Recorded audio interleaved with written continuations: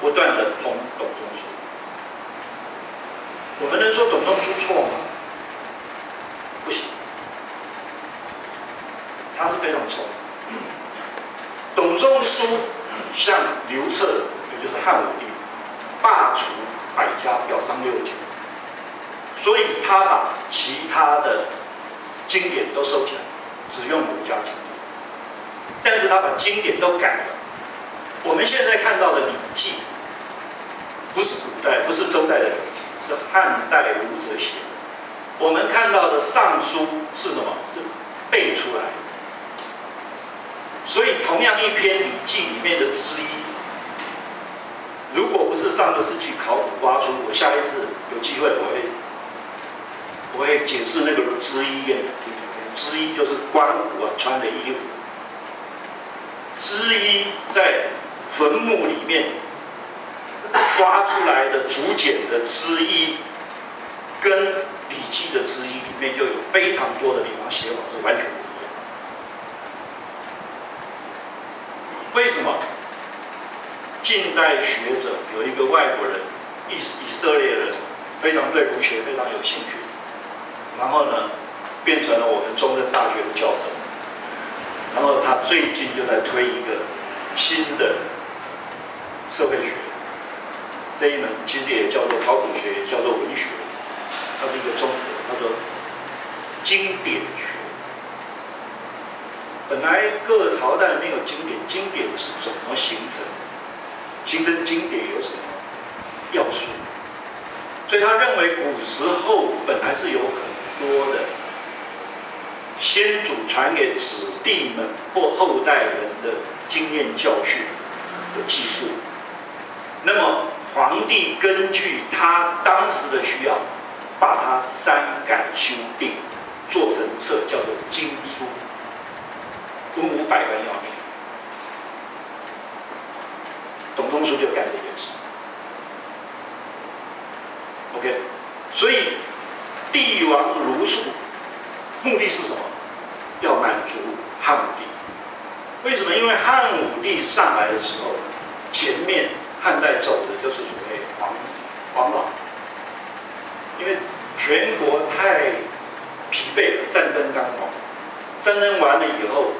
国家民民困国穷，所以就用汉老哲学，就是不要不要太限制人，让它自然的升息。等到自然升息升息到了开始国家有钱的时候，汉武帝当政，他最大的一个问题就是匈奴。匈奴每一年中国过去对待匈奴，就是国力不太强的时候怎么办呢？和亲政策。然后呢？匈奴人就不满足，每一年到了快要冬天了，他就要来强抢你、打打你、杀杀你，目的就是要你多供。那这对汉武帝来讲，每一年供去了，我还能做什么？所以汉武帝就想除掉匈奴。可是要除掉匈奴，第一件事情要怎么样？把全国动员起来。这就是汉武帝的。所以要动员起来，第一个按照现在的统一学叫做什么？巩固领导中心，对不对？巩固领导中心，董仲舒就是干这件事。他就是巩固领导，所以他创出了一个天人感应三纲。三纲五常就是这么出来。那么什么叫做三纲五常？三纲就是君为臣纲。父为子纲，夫为妻纲，要求臣子妻必须绝对服从于君父。两千年来，我们的社会就是推行这样的一个观念。所以，听呐，五一不子，对不对？你从小是不是这样被教的？听呐，人五一不子。起大人咧讲话，你就啊点。那么先生讲事情，太太就乖乖的听。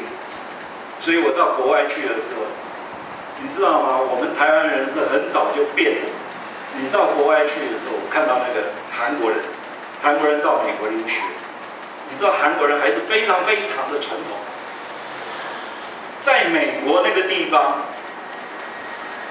先生到美国念书，妈妈就很担心，就把他的老婆送去，送去干什么？伺候先生，让他专心念书。先生出门的时候，韩国人的做法是什么？先生走前面，太太走后面。在美国那个社会，人家都是啊，那那边给，让他允许，韩国人行，男的走前面，女的在，就是这个。深入了生活，深入了几乎变成基因。那所谓的五常就是仁义礼智信，这个当然是一个解释。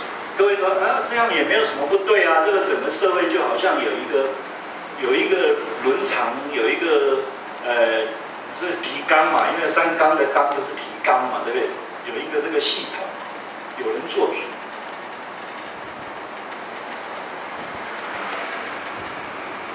三纲硬含的就是政治，政治很可怕。要看我们现在在玩政治，哪一个不是想要把权力握在手上？所以变成绝对的权力控制。它是三场雨，这个刚子说解释为刚子。你们如果看我们刚刚讲的，刚刚讲孟子说了。孟子又借了《尚书》说，可是你看《中庸》里面讲，古人的排序是君臣、父子、夫妇、兄弟。孟子说的是父子、君臣、夫妇、长幼。你如果去看《礼记》里面，你就会看到孔子讲：“哀公曰：‘敢问政如之。’”因为这前面我删掉了，他问的就是说，国家政治要怎么处理呀？孔子对曰：“夫户别。”各位看，在中国人古时候写东西次序是有关系的。孔子说什么？夫户别，父子亲，君臣也。君臣是最后，三者正则众物从。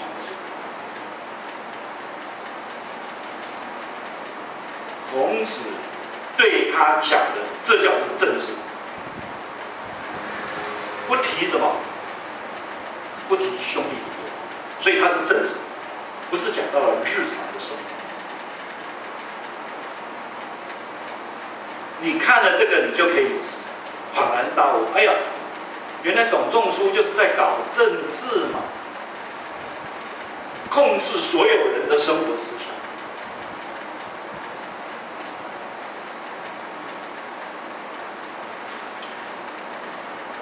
锅店竹简，锅店就是地下挖出来的，一个叫做锅店。大陆有一个地方叫锅店，挖到一个墓，里面挖到了非常多的竹简。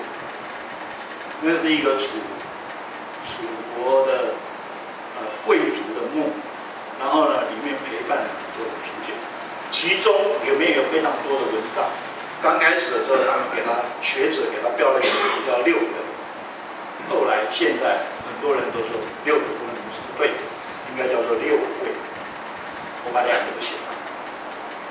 当然，我们不可能把整个竹简这篇文章的内容都讲，但是我把跟我们相关的部分报告一下。他说呢，君子如欲求人道，这个道要注意，不是这个道，是这个道，也就是当时竹简用的字是这个道。那个时代有这个道，有这个道，这个道就是这个道。我们在后解释什么叫做道，道就是气息。这个道叫做什么？你们可以看到，这个就是一个人，这就是我们行，对不对？在甲骨文的时候，它这边还有长的，所以要表示一个十字路口。人走到十字路口要选择走。所以人是怎么行为的意思，所以人行为的原理用的是这个道。所以君子如欲求人道，各位，竹简里面第一句话就告诉我们一件事情：中国过去是多么讲究心理学。你要人做事，你要知道他怎么怎么会做事。我现在要讲的是什么？古代的中国是非常重视知识的开发跟成。你怎么统治人？现在西方的管理学全部讲生心理学，对不对？我常常讲，我们的文化比西方早两千年到三千年。你看了这一句话，第一句话你就可以感受得到：君子如意，穷人道。这个道就是人行为的原理。所以他说，人民生出来一定有什么？一定有夫妇、父子、君臣、史六位，一二三四六。人在这个世界上跑不出这六个位置，然后这六个位置里面有一些从属的关系，呃，有率人者，有从人者，有使人者，有事人者，有教人者，有受人者。使跟事，教跟受，叫做六职。六个位置同时代表六个不同的职务，所以既有六位，所以为什么会叫做六位？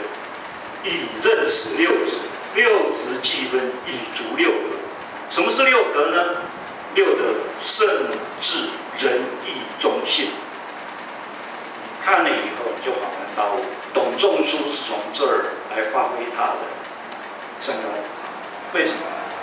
有率人者有从，有使人者有事，对不对？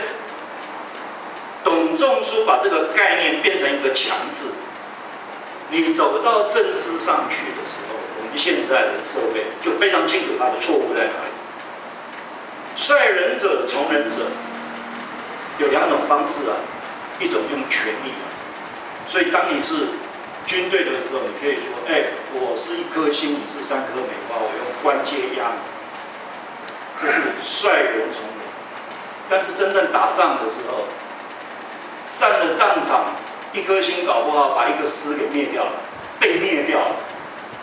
三个梅花的人搞不好呢，把对方一个师吃掉了。那个叫做什么？能力至上。所以在社会的运作，对不起，是能力至上。什么时候看得出来？当社会有变动的时候。所以三纲五常，三纲的第一个错误就是什么？强制。强制就是错，你没有一个弹性的。所以此处所谓的道是人世间的行为。我刚跟你讲过，你这个人，你怎么去做？你是用道去走，用你的专业去走，还是用你的人际关系？讲这个很重要。各位想想看，你们自己跟你们的子弟，跟你们周遭的人，我们刚刚一开始就讲，你的人际关系一生是多少？一百五十个。你怎么搞好这一百五十个人的关系呢？你是用率人者从人者吗？还是你说我讲的都有道理，还是我能够把事情做好，你们都有福气。这就是我讲的先圣先王之道，没有定法。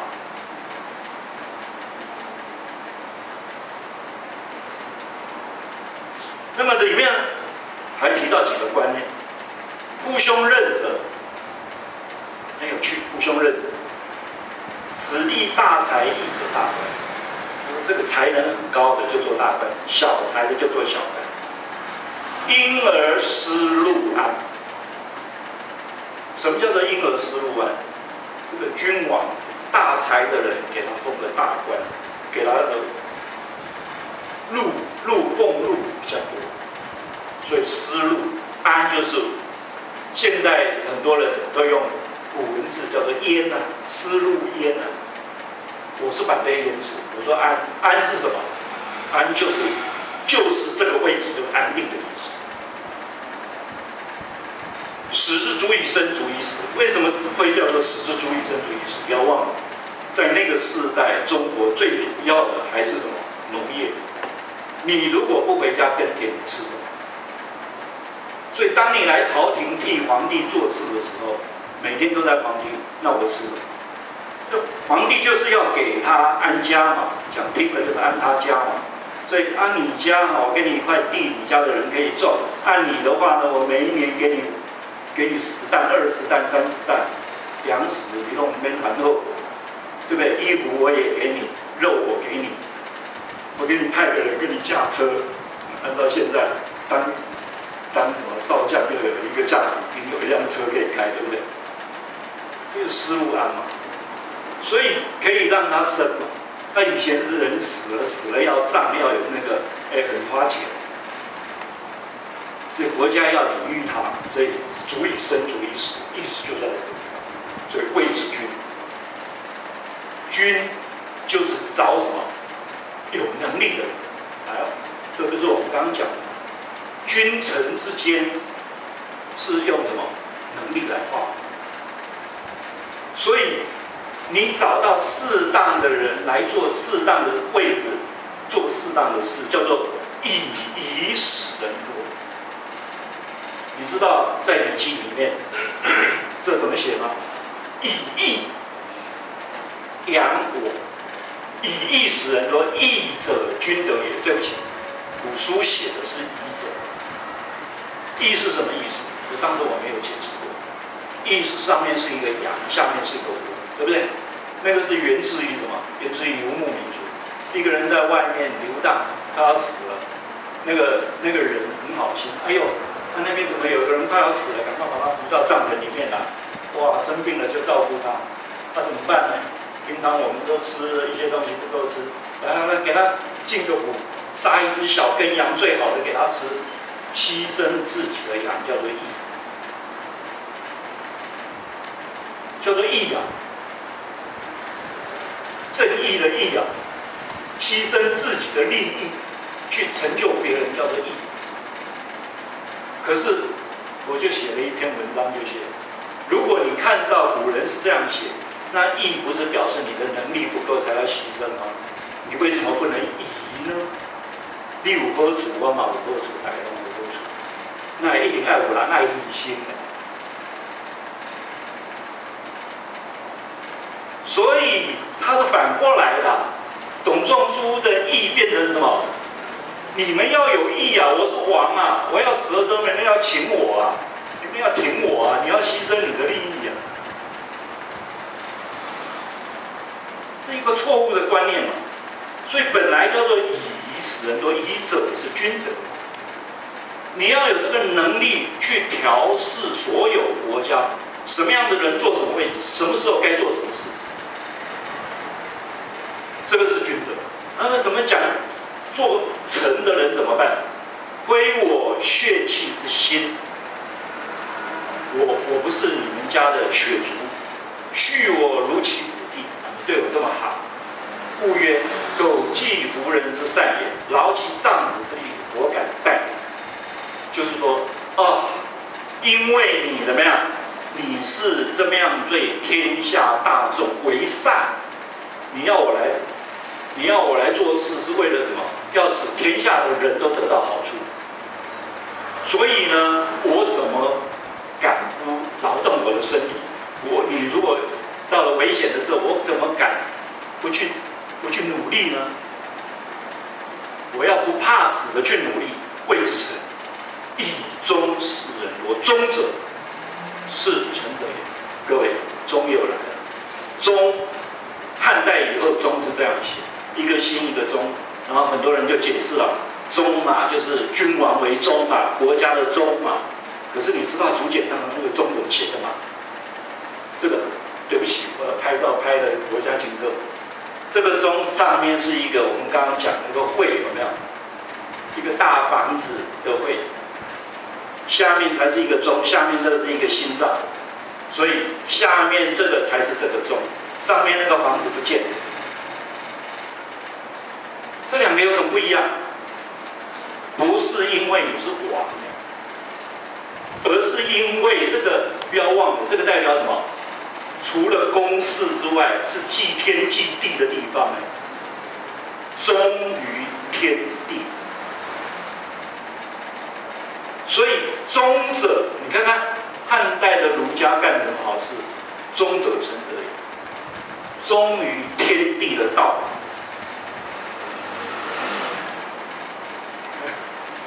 怎么样？历史是人写的吧？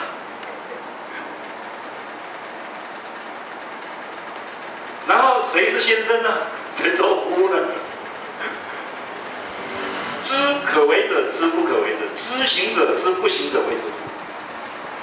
以智率人多，他们把它写成这样。我告诉你，在竹简上所有的知都是智。哎，这难了。什么叫做知可为？我们现在的解释很简单，哎看不知道这可以做。智是什更？上一步，你要能够辨识该不该做，要做要怎么做？字我在这边没有写出原来的字，字的诗是本来的原来的诗就是弓箭。以前古时候的兵器时代，能够杀最远的就是弓箭，对不对？弓箭不用人靠近，射过去射得准的，一箭就把你射死。口不是口。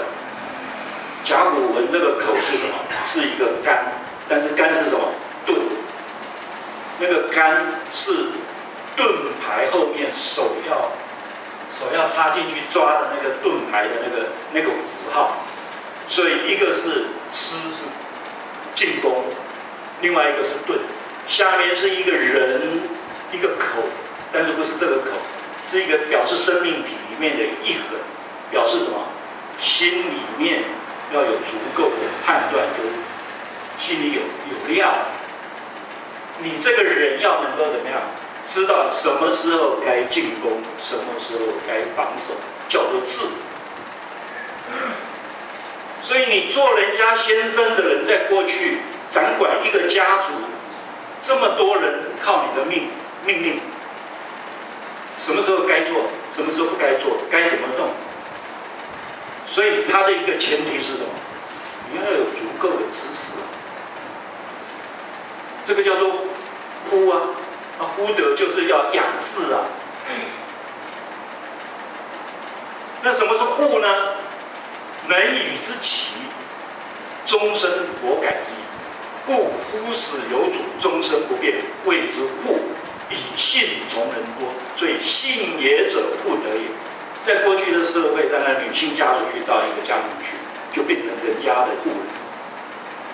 可是嫁进来就好了吗？你如果看那个时候，他写什么“美以之齐”，各位知道“齐”是什么意思吗？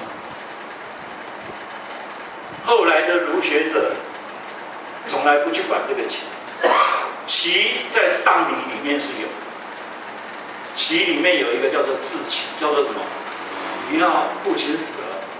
然后我去祭祀他，我要怎么样？十日之期，前面七天要要全部斋戒，前面七天要关在房子，不连音乐也不能听，连那个每天想的就是哎呀，我的父亲，要思念他。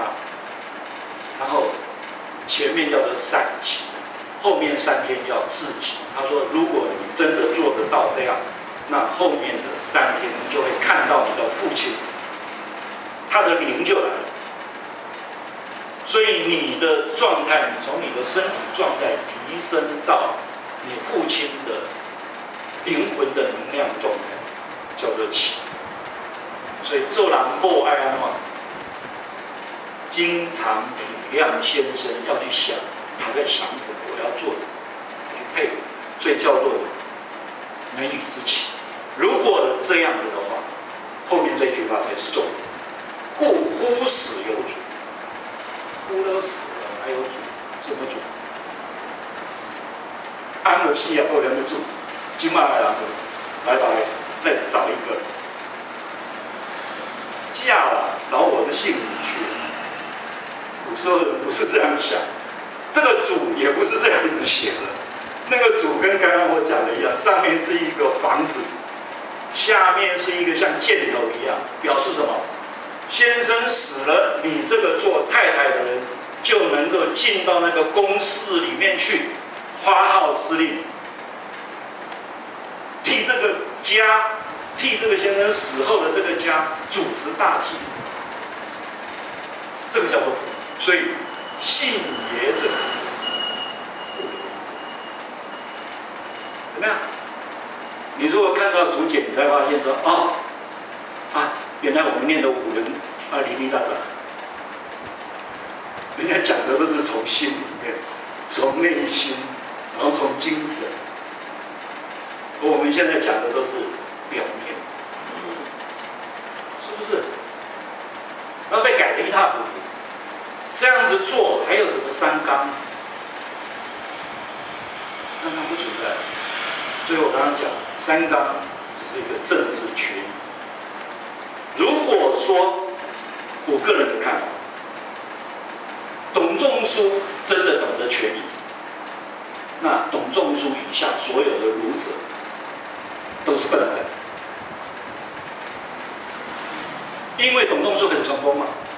他让汉武帝不但汉朝变成中国历代上最大的强国，留下了中国非常多的典章制度在里面。所以董仲舒算不算成功？成功。那后代的儒学怎么不知道全变呢？所以念史书嘛。我们刚刚不是讲了吗？汉代以后开科取士。都是念书进来的，哪一个人是在生活当中磨练出来的？所以孔子本来要卑贱的，后来贱，对不起哦，剑都背甲。孔子不是说了很会很会驾车吗？御打仗的时候要不要会驾车？骑骑马的古时候，骑兵战车就是最有力的战工具啊，武力啊。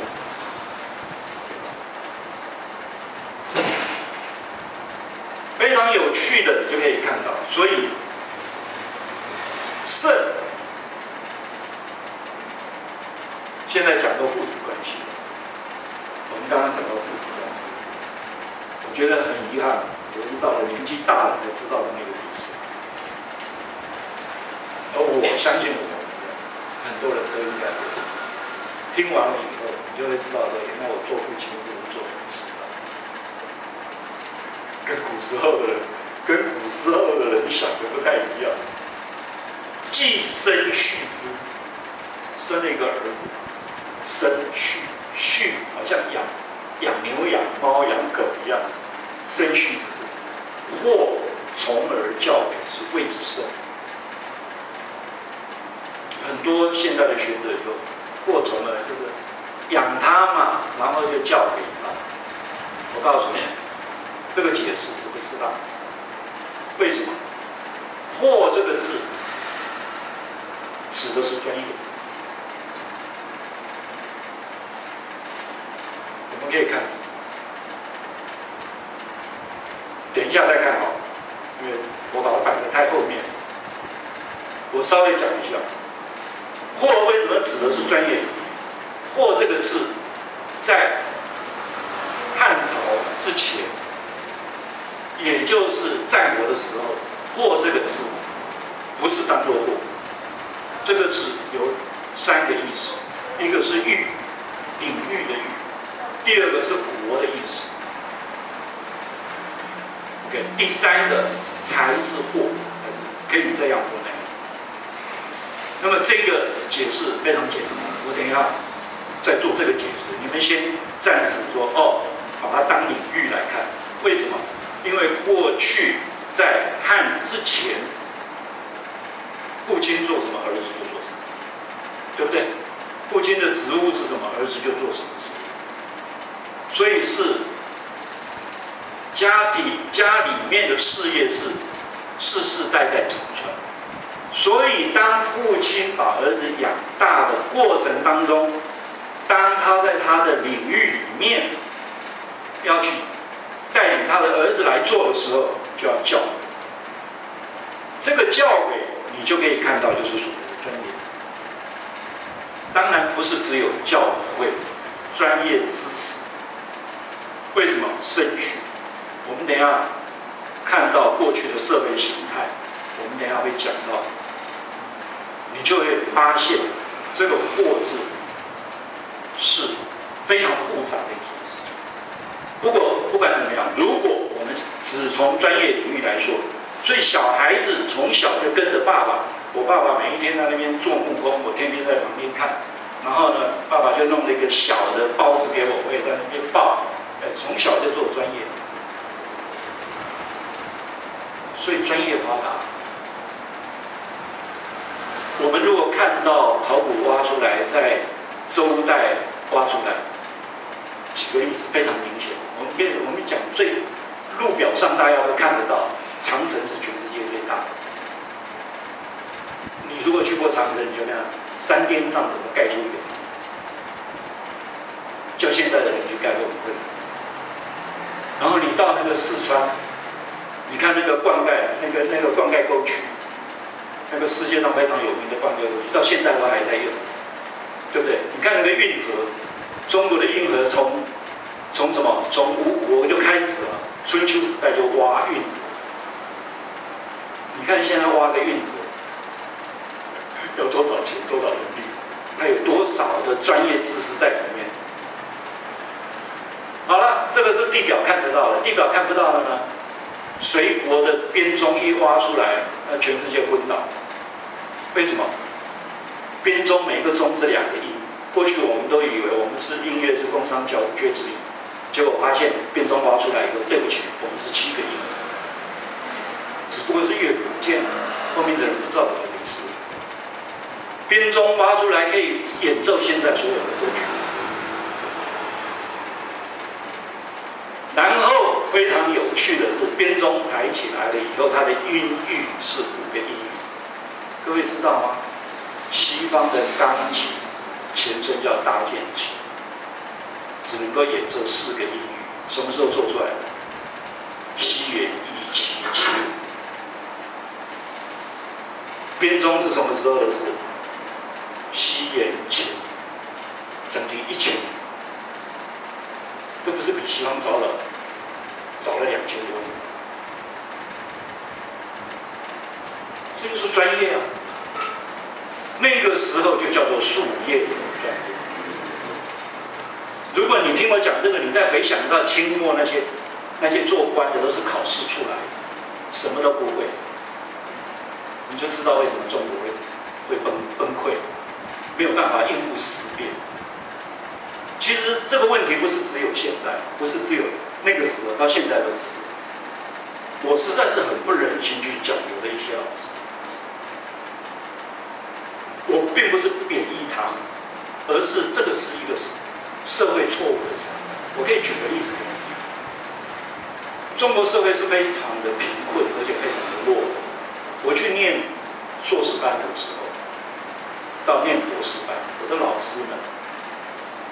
我的老师们从美国，在那个时候拿到博士学位就回来，每一个人一回来就是副教授。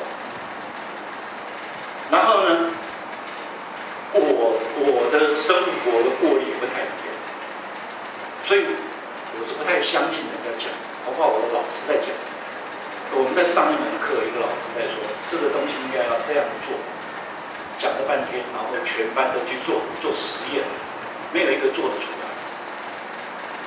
我跟我另外一组在那边上班，那边一个礼拜没睡觉，最后被我们弄出来。弄出来以后，发现一件事：老师讲的是错，老师讲的是错。他说不应该这样做，要这样做，正好是相反。所以这就是问题了嘛。他们到美国去。拿到学位就回来，他没有经过社会的历练，一回来就是副教授就高高在上。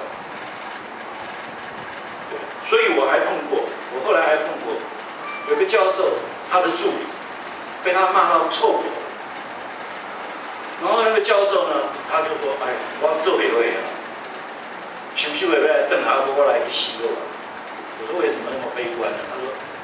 他被老师骂到根本就没有自尊呐！老师就说我们是猪八戒啊，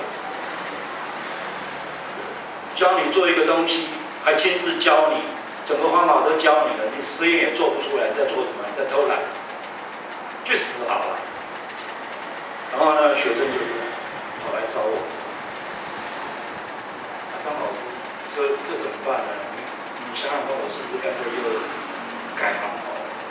心里就在想，这个老师看了半天，他没有做过。说你可以不可以偷偷的把你的实验记录拿来给我看？了就快要昏倒，看两页我就快要昏倒，我就问他说：“那这是你实验步骤是这样做的吗？”他说是。我说：“那你自己想的吗？”不是。那谁谁教你的？我的老师教我的。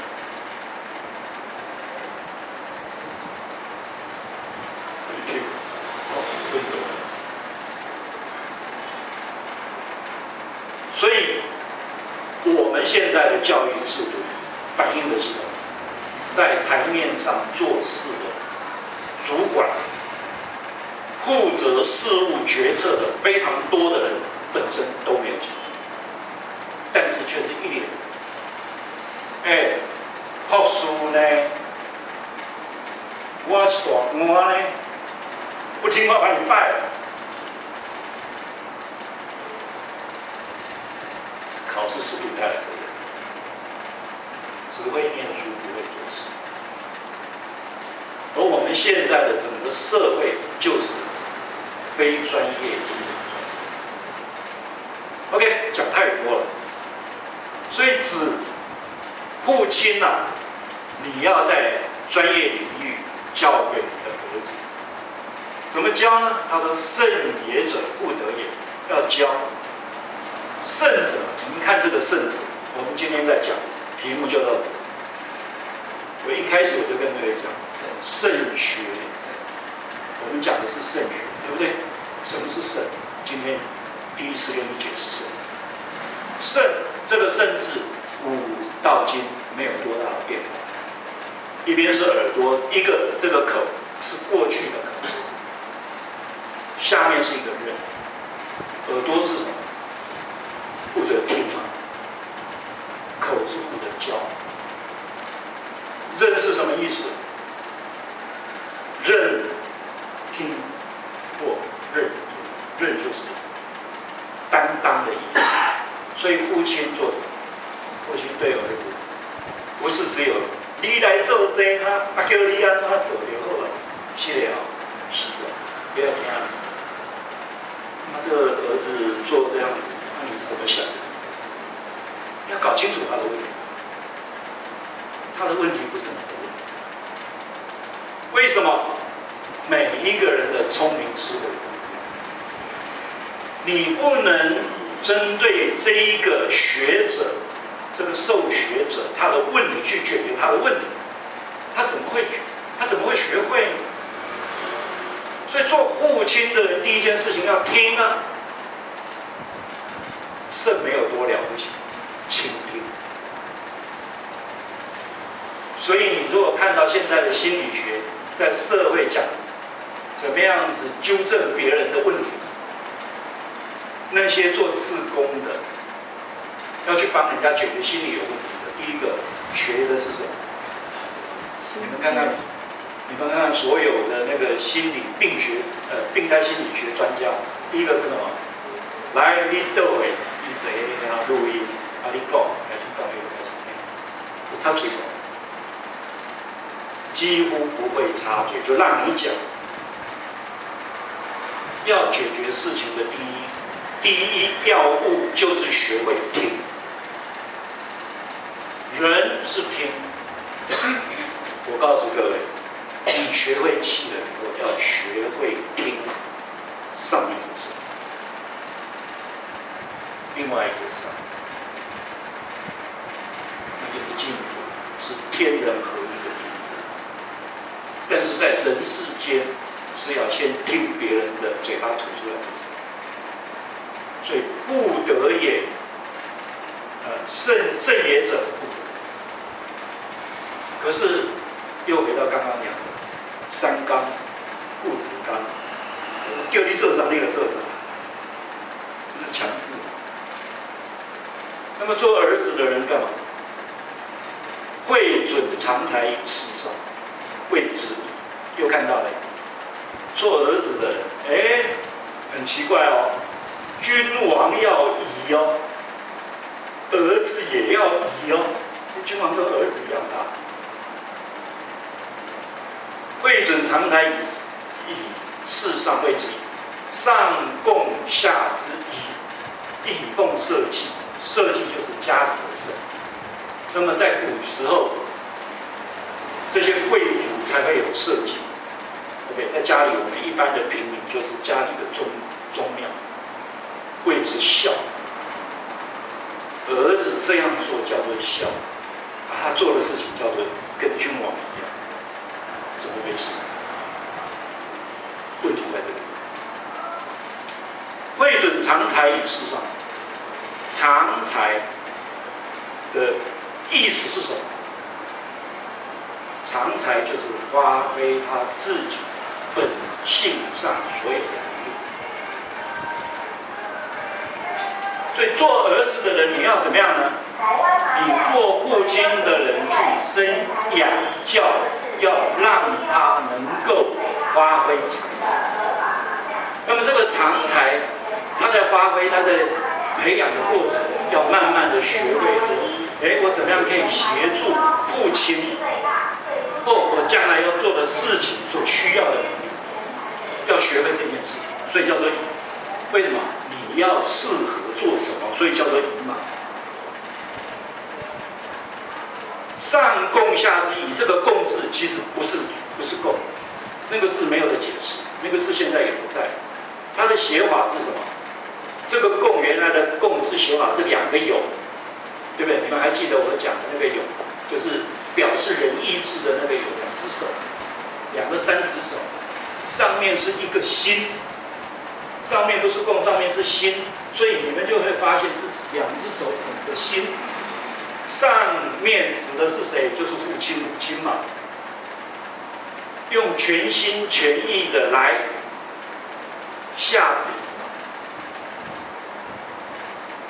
来教导他知道什么叫做，哎，这个才叫做教育。我们现在小孩子上到六年级，你好啊，等来做功课啊，啊时间搞困啊，明仔载背开他这样，谁在教？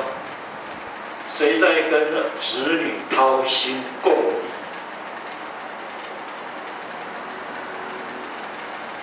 的教育，家庭教育，汉代也会有。故仁则为人也，仁则什么意思？叫仁则？把人当做一个标准来教。仁则为人，就是把儿子教成一个人。哎，这长大成人，对不起。他讲的不是身体长大成人，是这个儿子长大，他的行为是一个人，不是野兽。位置真，这个人，对不起，这个人也不是这个人。对不，我我太急了，所以我今天忘记把这些字拿出来。这个人不是人，是什么人呢？古时候的写法就是一个人的形象。旁边画一圈，有一个符号是这样，好像那个圣圣者上面那一圈，那一圈是框的那个人，下面是一颗心，意思是什么？全心的去思考人所需要的一切，叫做。所以你教一个儿子，要让这个儿子知道，他进入社会，他在家庭，他的朋友关系，要怎么替别人思考。这个叫做人，这个才是人，所以仁者子德也。我们在教什么？我们整个社会在教什么？从小儿子就是活活活活，一二三四，我在教小孩。我们不是在教人，我们在教机器，我们在教一群自私。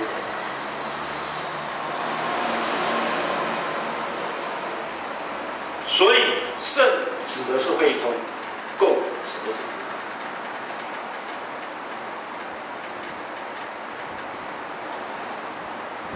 所以我刚刚呢做一个总结，仁则就是为为使子女能够成为成人，他能够正确的对待，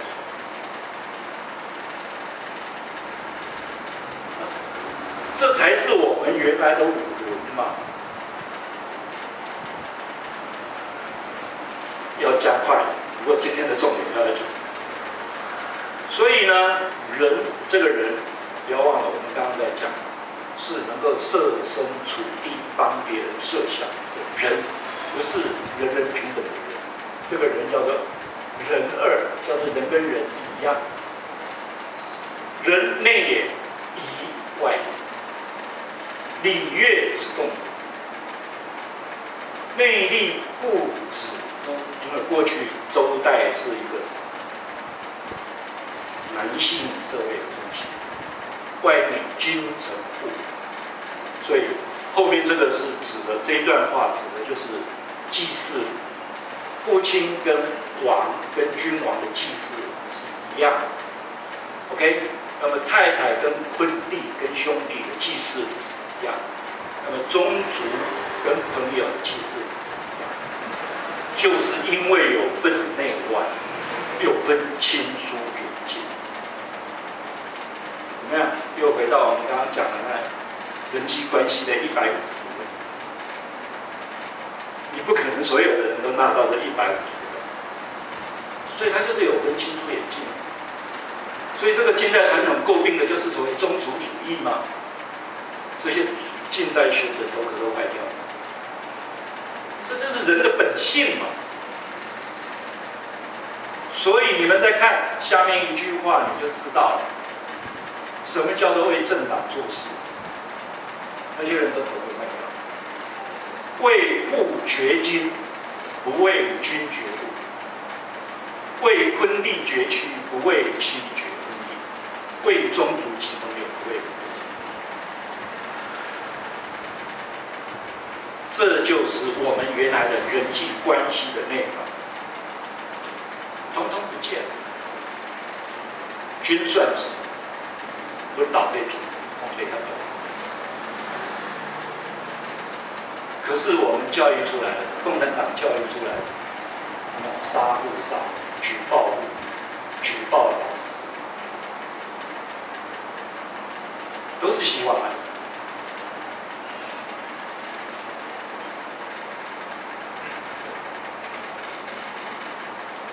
人有六德，刚刚讲的那六德，所以三心不断。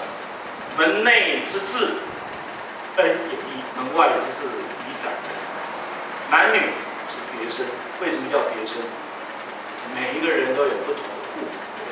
女生有女生的父，我有我的父。男女别生有父子心生，这有一个非常重要的观念，我们还会再提。父子的关系是心生，我的子女是我生命的。所以这叫折，折的概念从哪里来？各位如果会种农事的话，就知道我们有很多的农业叫做折枝法，对不对？你要折一段去插枝，它就会长出新的，所以就好像把我分成另外一个一样。所以父子心生也，不是亲呐。以前用的字是心呐，伊就是我心生啊。君臣宜生也，所以不圣子忠，夫治不行，君臣重。你们现在再来看这几句话，听我刚刚讲的内容，是不是就大不相同？所以此六者各行其职，就不会有这些事情。中国是全世界最早的个人主义。我们现在的社会在讲个人主义。什么叫个人主义？我们的个人主义不只是个人主义，还是人本思维是个体中心，而且比西方的个人主义更深。所以全世界的个人主义鼻祖是谁？中国啦，先王先圣之道。现在西方的个人主义讲的是什么？问大我的吃背我怎么？多？什么？嘢我卖听我的，我在冲啥？我在冲啥？对不对？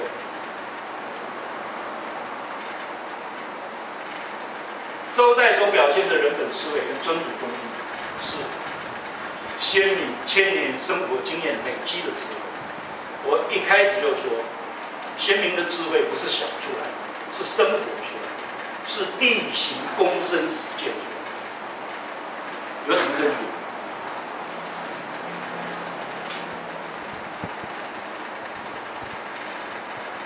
梁启超第一个去反省，可惜他失败了。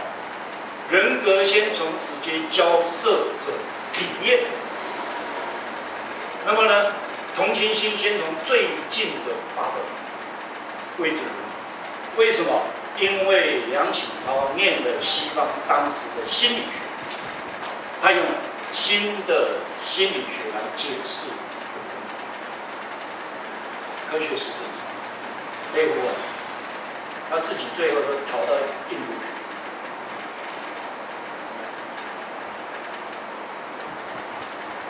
为什么说我们的智慧是生活出来？你们看现在，客家土楼，客家土楼在大陆现在变成观光景点。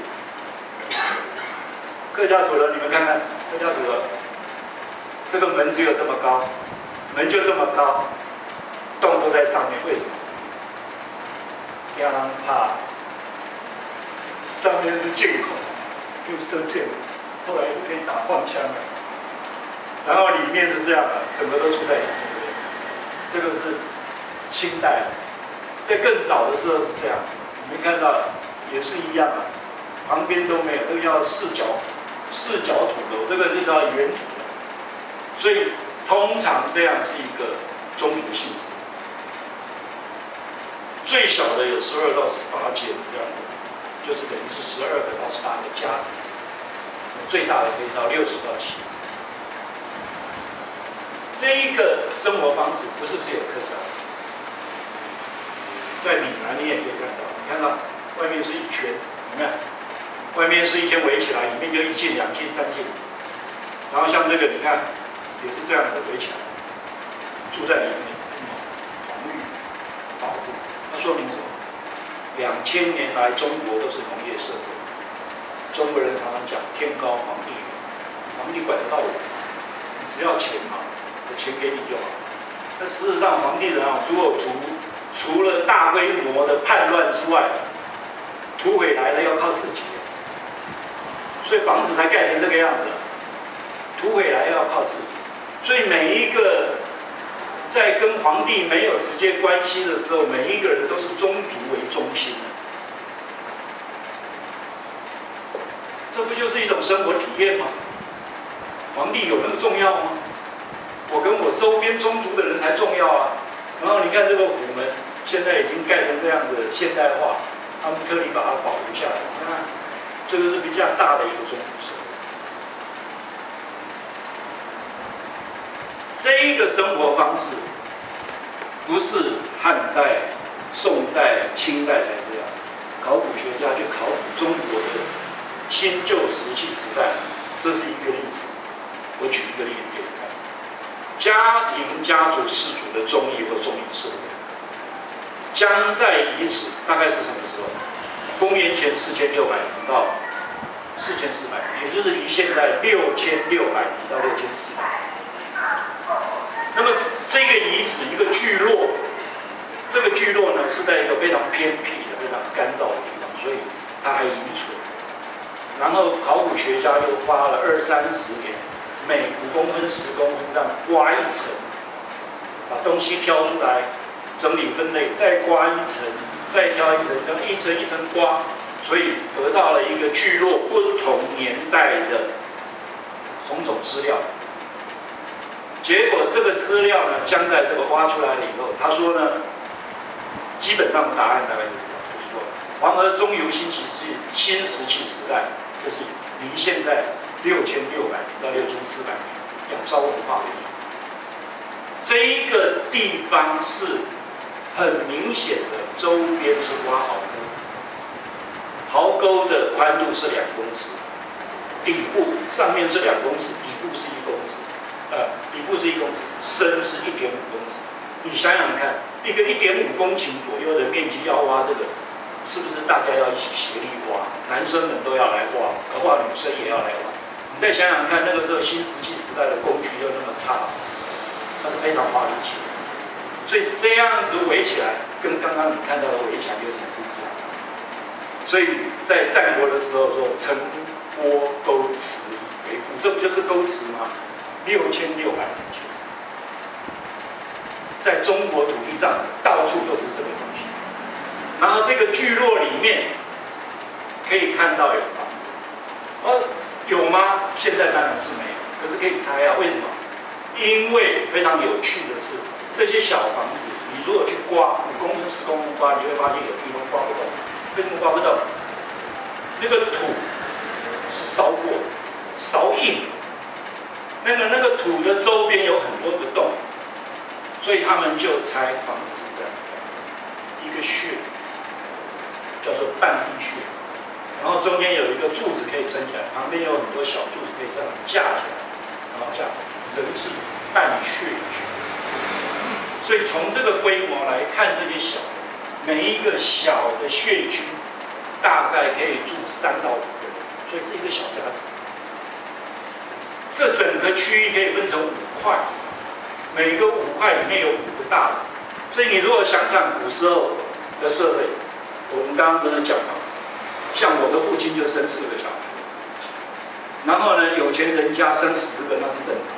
那古代的人就是，儿子一死之后还要再生啊，十五十岁、十二岁、十五岁就结婚了，三十岁一死就死了，所以人从十五岁就开始养小孩，每一年都在生。所以你如果一个家庭一对夫妻，在十年之内生出五个小孩，那五个很快就结婚了，对不对？对不对？你十五岁生他。到了父亲快要过世的时候，他已经要小孩子已经要结婚了。那你如果是十岁、十二岁就结婚生的话，二十岁做阿妈、做阿公阿妈，所以他们的规划，他们就认为这是父亲的一个家庭。这可能这个遗址大概用了九十年到一百年，所以可能就是一个家族，然后五个儿子，五个儿子再生孙子，然后再生。然后这里面除了人住的之外，还有很多地窖。地窖里面呢，可以看到储存的食物。非常有趣的，这个外面是坟墓，里面也有坟墓，但是里面的坟墓板上面腰死的婴儿。小孩子以前的婴儿存活率比较差，所以小孩子死了以后就用一个陶棺放着，然后就放在那个家的旁边。挖一个洞，大人死了就拿到外头去，外面有三块墓地，所以挖出来坟墓里面挖出来的人，可以得到一个结论：这样一个社会叫做共有社会。为什么？在六千六百年前没有棺椁，就挖一个坑，人就放进去，然后这个人最喜欢用的碗钵就放进去，放在一起，开开。所以没有人有例外，每个人都这么穷。或是说，反过来讲，每个人都一样富有，所以这样一个社会表示一个什么共有的社会，这就是一个很明显的一个家族社会，然后外面是围起来，这样的一个家族社会在中国遍布。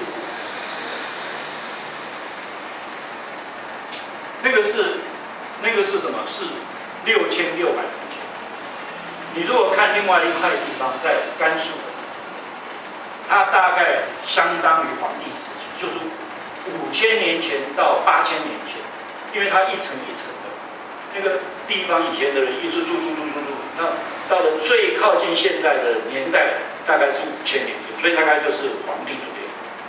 这个地方呢，这个遗址，他们就说有三千年的文化流续，从最深的一路这样挖挖上来，这个地方。让我们看到另外一个类型，个地方挖出来的东西呢，时间快要差不多，我你们稍微看一下，这里面有和非常多的东西，非常重要的。我现在要讲的是这一个最早的宫殿式建筑。最早的宫殿式建筑，因为它这里面有所谓的农作物、彩陶、银饰，包括图画，还有呢水泥地面，因为那个宫殿的地表居然铺的是水泥。至少是内晋初期的水，所以我刚刚不是在讲中国过去的器物化，绝对不是新的，不是被动。那这个地方是另外一个宗族系统，这个宗族系统的面积比较大，所以周边呢它是有很多块，一个一个的，就像刚刚讲的江在。可是这一些小的易居之处。有一个共通的、共用的，就是所谓的，呃，这个大房子。这个大房子呢，挖出来大概是是一个，你们可以看到原来的图是这样。这个图是说这边是被肢解掉的，这个是复原的假假想的图。对，这个房子呢，里面有火塘，然后有柱子，然后这前面、后面都有壁柱。就是一个房子盖起来的时候，木头穿起来，然后把墙壁贴起来。这个房子呢，前堂有八根壁柱，这前面有八根，然后呢有火塘，然后有顶柱，顶柱这个直径就有多少？九十公分。你看那个时候的木头多大？所以他们说。相较于一个一个的区域部落里面，这个房子是显然就是一个公共建筑，是所有那些部落的共用的，所以叫做原始殿。而这个原始殿堂会做的这么豪华，地表之上还有画，地面还有图画。他说这个 F 五零呃九零一这个总面积是四百二十平方，四四百二十平方公尺，就是四十公尺。可以想，四十公尺长，十公尺宽，非常大的一栋建筑物。然后呢，主次分明，这个宫殿式建筑，显示什么？权力运作的可能性。所以，它就从一个本来小的，大家都均衡一样的地位的，到有一个联合的中心存在。所以，这个从六千六百年前进化到五千年前，又经过了一千六百年。所以那个房子，他们就给它拆，大概是这样。OK，接着就是下二里头，二里头呢是比刚刚讲的那种构筑建筑更进一步。这个更进一步，更进一步呢，我肯定要讲快一点。他说这个是一个最早城市的主干道。然后有最早的工程，也就是说，刚刚那个大房子只是在一群一区当中一栋房子，对不对？二里头进步了，它那个大房子外面又筑了一个盘泥把它围起来，像这样，开会的外面就筑起来。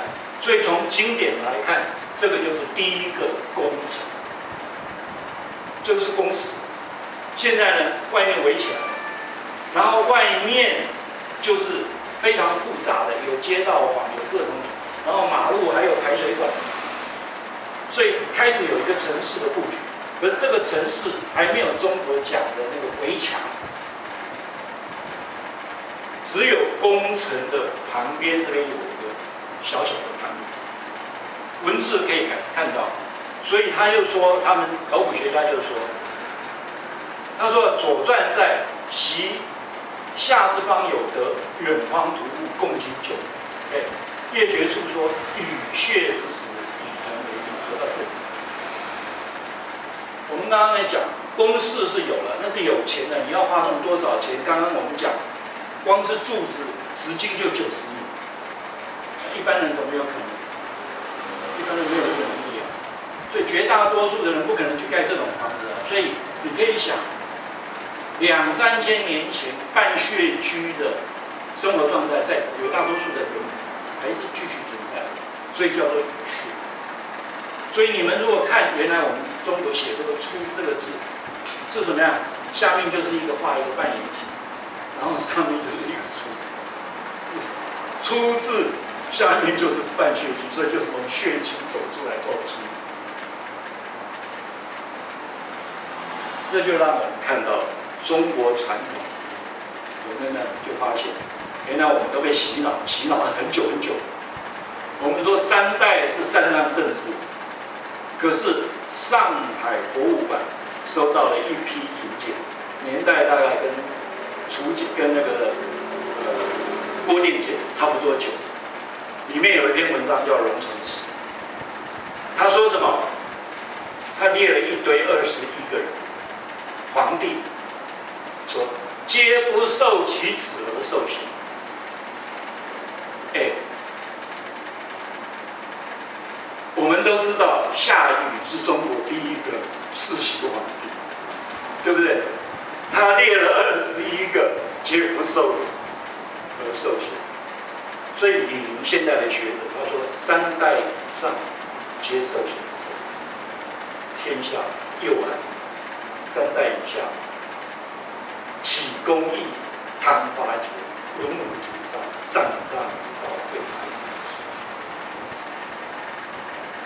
你如果把这刚刚的考古的结果跟这一放，你就知道中国原来经过三千年的历代过程都是什么？就是家族为主。你周边的周边的人有多少？我刚刚告诉你，刚刚像像江辽，他没有算过。一个区域里面有五个区，每一个小区大概两百五十。我的我的答案是很简单的，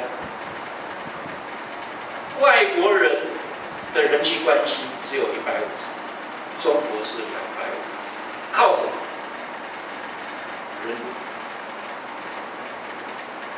靠的是人。所以古代以安国为单位，推举共主协调帮帮术，所以呢，尧典说。邪而忘道，这就是你可以看到中国的传统。中国不随便争霸，跟现在的西方动不动就我的利益。英国人打中国就是通商事业，不通商你看，对不对？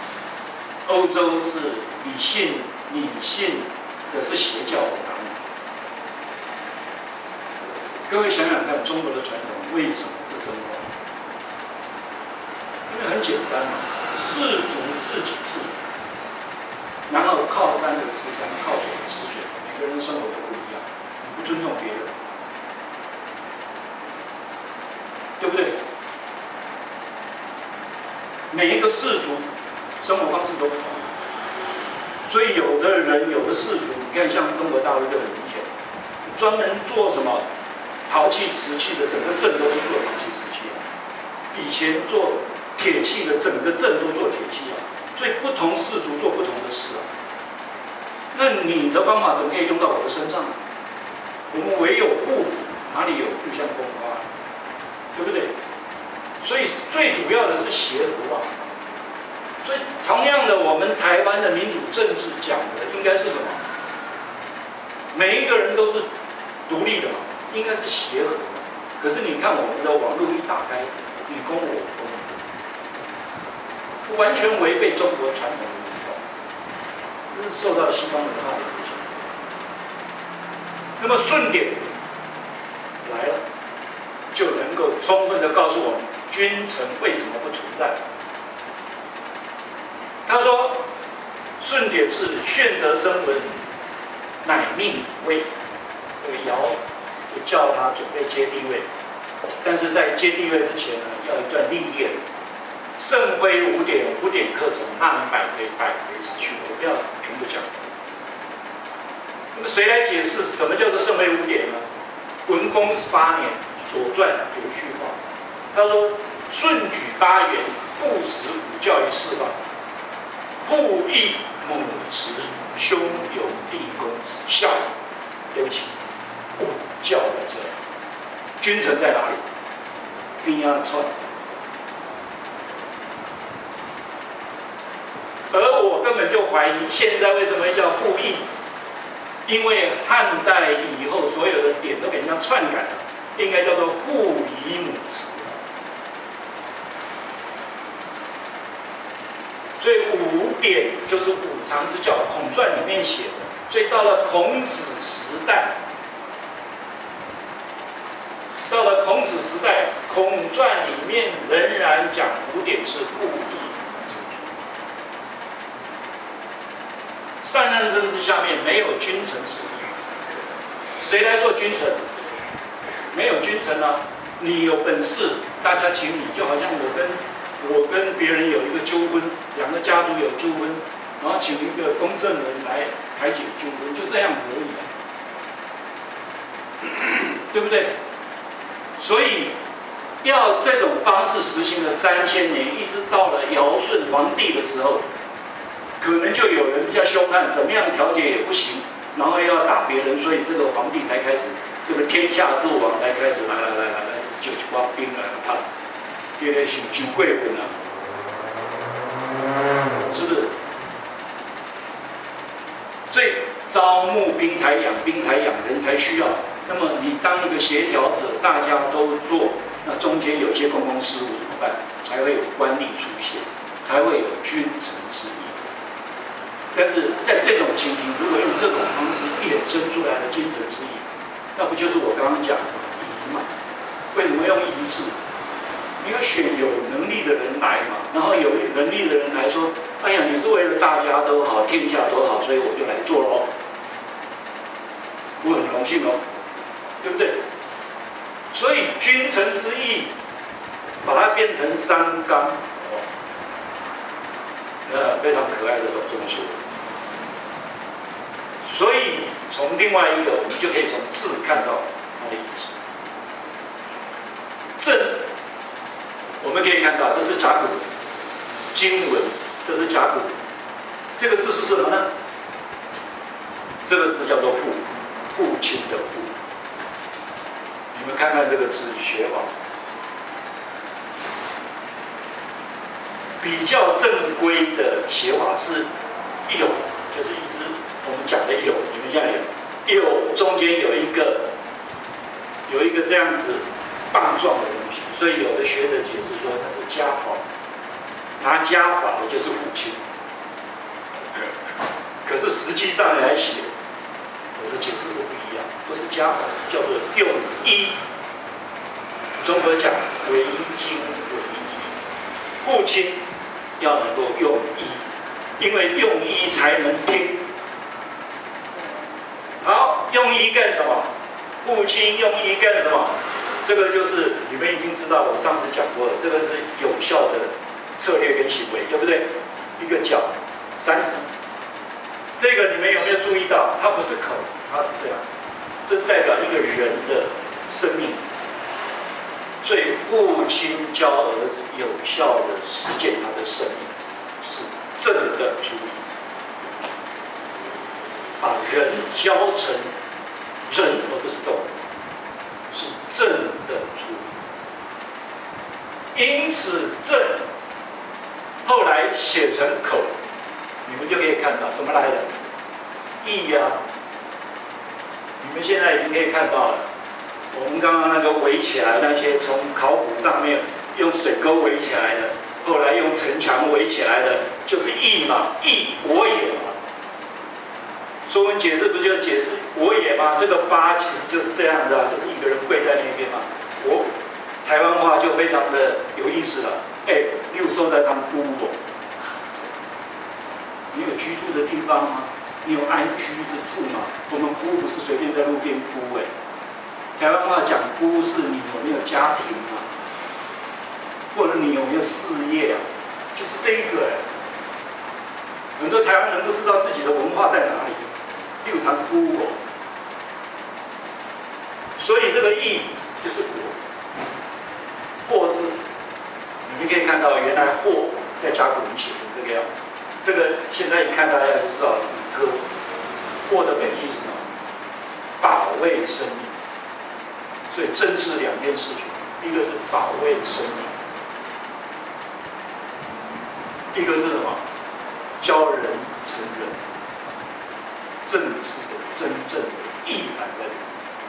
我们的政治现在是我的利益在，所有的立委，所有的这些官员，所有的财团都在抢利益。所以这个“祸”字后来“歌”字旁边就开始变成“口”，也就是这个。再继续演化下去，就有城墙出来了，所以叫做什么“邦也”或“邦也”。以守以一地也，欲祸又成。所以我刚刚都跟你讲，一开始我们讲那个祸，那些学者都解释错了。那个祸的意思是什么？欲，专业领域。第二个是什么？以后你自己的这个家，这个义，这个欲，你要怎么去处理？教儿子就是要让他变得能够替别人设想。叫做孝。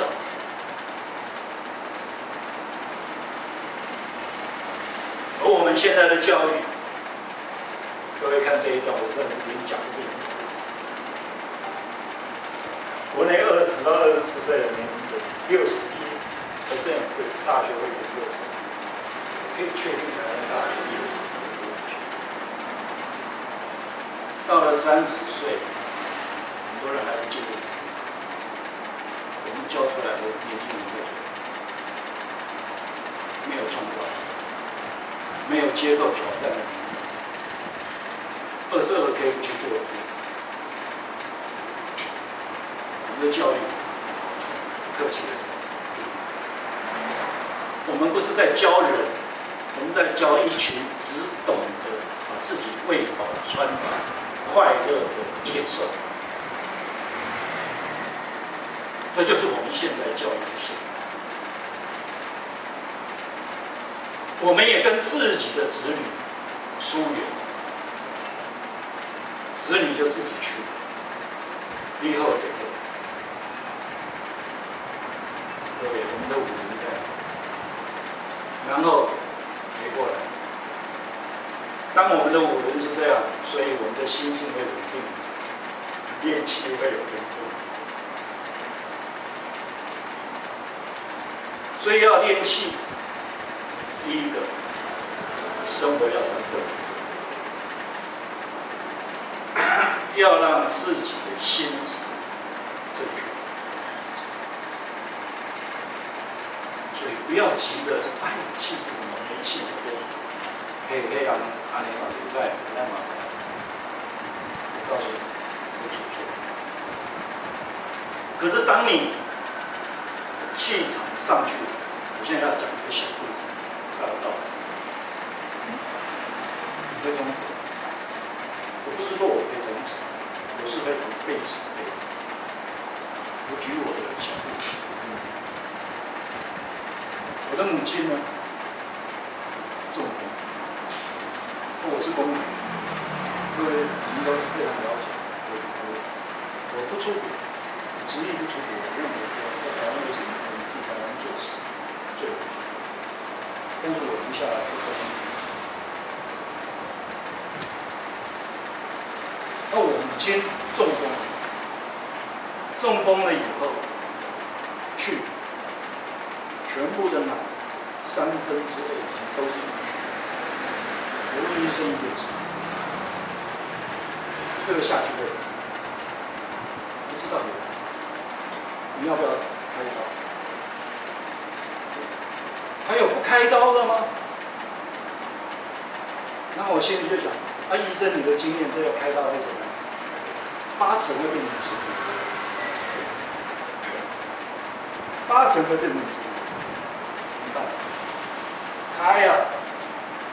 做人子女还有什么话好说？我不是跟各位讲一定要做，不要不要误会，这仍然是需要慎重的判断。我当时的情绪就开了，开了以后，而且整个晚上开到了，我就到了第二天一大早，大早就把我，然后在马街医院就用一辆车把我载到再到那个那个关渡宫进去，我一个晚上没有睡觉，前两天做 实做实验做的都都没有神。去我进去我说，啊你带我来这边干嘛？我本来以为他要带我去哪里，一看怎么到庙里面来？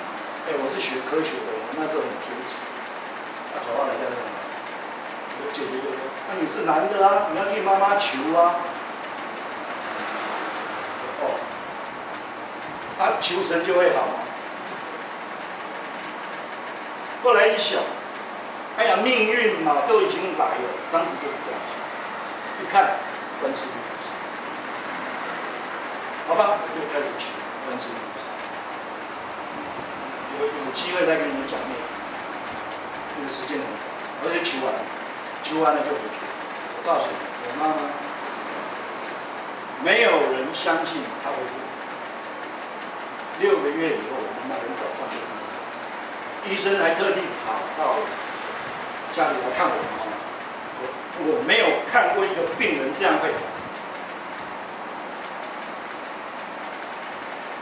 OK，好，他好了，但是他有很多问题，就是家庭的实施暂时不不变，就他就需要，他就需要到养老院去。他去养老院，我把他安排到养老院以后，我是公务员，我有很大的问题，钱不够，我心里就在想一件事：钱不够。他前面都求了观世音菩萨，怎么办呢？我就说，他前面都帮忙解决了前面的问题，后面总要帮。三月求，四月有一个不熟的学弟又跑来找我，我有一个位置哎，你要不要去？我是公务人员，我从事研究工作，我能够从事什么？我不能做商业活动，按照规范。是一个教职，到一间专科学校教书。我把所有的东西一打开，完全符合政府规定，可以兼四个小时相关的教学活动，四个钟头。你知道我求的是什么？我当时跟观世音菩萨求的非常简单，我尽我最大的能力，我还缺一万块。观世音菩萨能够不能够帮我求这个？你知道那四个钟头的经历在当时是多少钱吗？一万两千一百。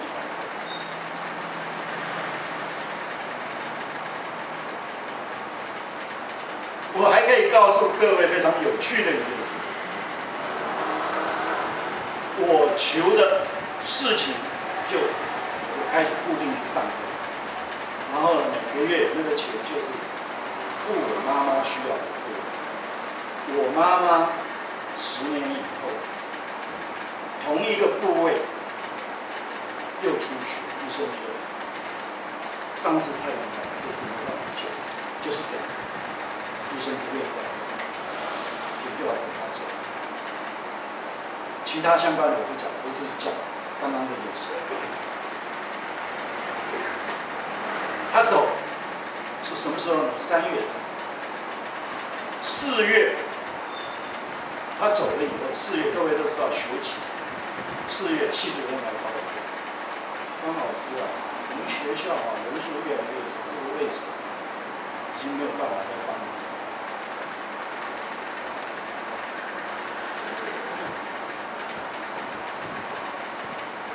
所以我跟各位讲，历届啊。你如果相信耶稣，要专心的相信，相信观世音菩萨，关你练气，气通，只要你的气质正面对你的身体。